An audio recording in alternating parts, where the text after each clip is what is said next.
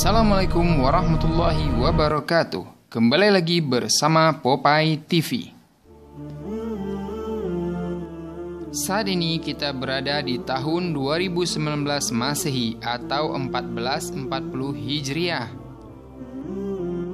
Belakangan ini banyak kejadian-kejadian aneh yang terjadi di dunia ini yang diindikasikan sebagai pertanda hari kiamat semakin dekat, terutama di dunia Arab.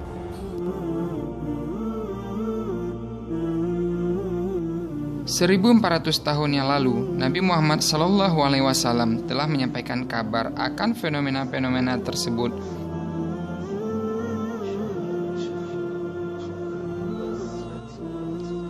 Dan anehnya lagi, saat ini telah banyak kabar tersebut yang nyata kebenarannya.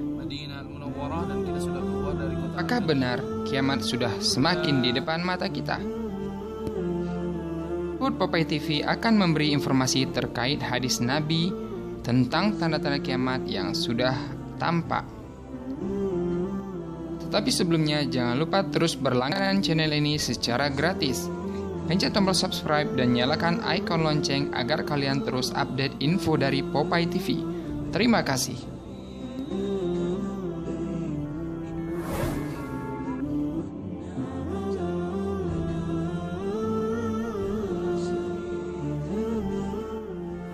Menghijaunya tanah Arab. Jazirah Arab adalah wilayah yang didominasi oleh gurun pasir dan tanah yang tandus, serta suhu maksimalnya yang sering hampir mencapai 50 derajat Celcius. Jarang sekali vegetasi tanaman yang dapat tumbuh dalam keadaan ekstrim tersebut.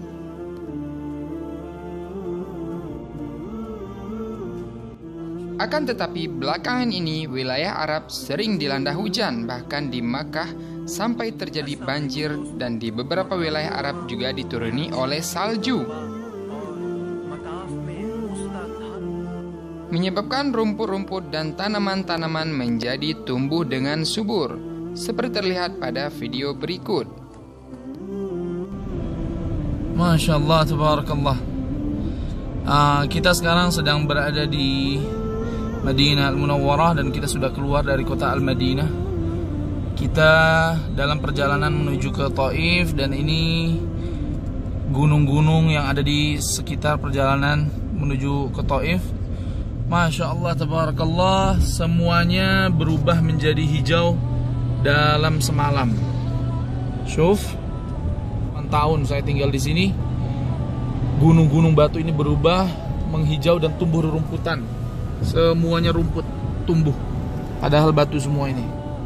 Masya Allah Tabarakallah. Kata Rasulullah SAW dalam hadis tadi kembali menghijau ya.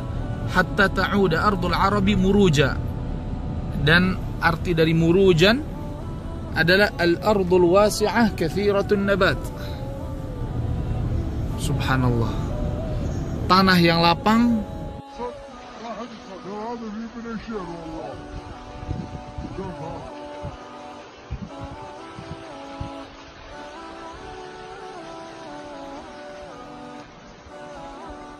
Daratan Arab yang sebelumnya terkenal gersang dan tandus sudah menjadi hijau.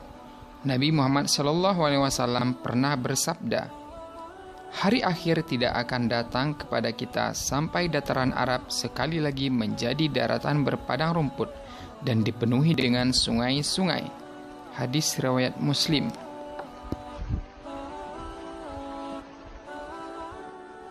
Berlomba-lomba membangun bangunan tinggi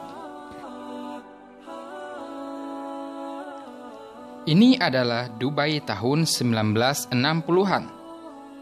Tak tampak gedung pencakar langit layaknya hari ini.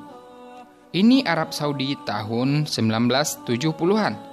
Sama, gedung tinggi belum banyak terlihat. Sebenarnya negeri Arab sebelum ditemukannya minyak bumi adalah negara yang belum sekaya saat ini. Bahkan banyak warga-warga dari sebagian besar negara Arab hanya pengembala. Tahun 1938, saat Arab Saudi menemukan minyak dan negara Arab lain mengikutinya, negara Arab menjadi kaya raya seperti sekarang ini. Pembangunan terus dilakukan, begitu juga pembangunan gedung-gedung tinggi. Saat ini, 2019, tercatat dua dari lima gedung tertinggi di dunia terletak di negara Arab,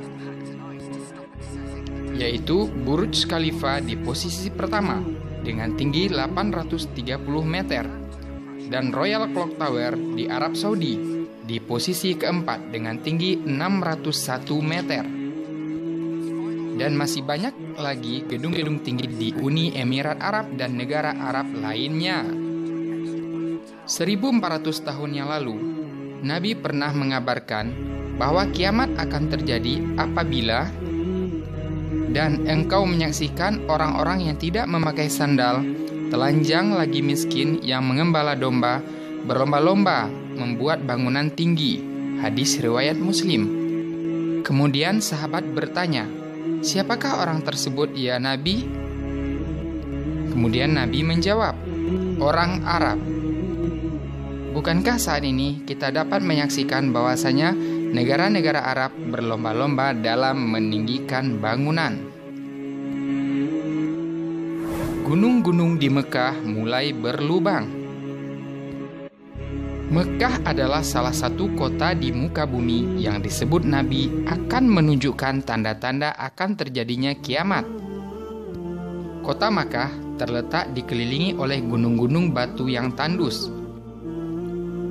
Jemaah haji umroh yang sepanjang tahun berjumlah jutaan menyebabkan intensitas selalu lintas di Arab Saudi yang cukup tinggi.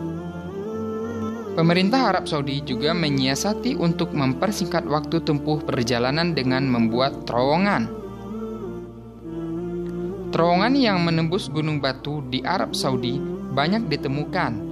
2011 saja sudah 55 buah terowongan di kota Mekah. Secara istilah, Terowongan adalah tembusan atau lubang di bawah permukaan tanah atau gunung. Hebatnya, lubang-lubang yang terdapat di gunung ini telah pernah dikabarkan oleh Nabi Muhammad SAW 1400 tahun yang silam. Nabi pernah bersabda terkait tanda-tanda kiamat yang sudah dekat. Jika kamu lihat gunung-gunung di Mekah, ada lubang yang menembusinya. Bayangan jam Al-Sa'ah sudah menutupi Ka'bah. Ini adalah Mekah sekitar tahun 2000-an. Jika sekilas kita lihat, hanya menara-menara sekitar Ka'bah lah yang terlihat tinggi.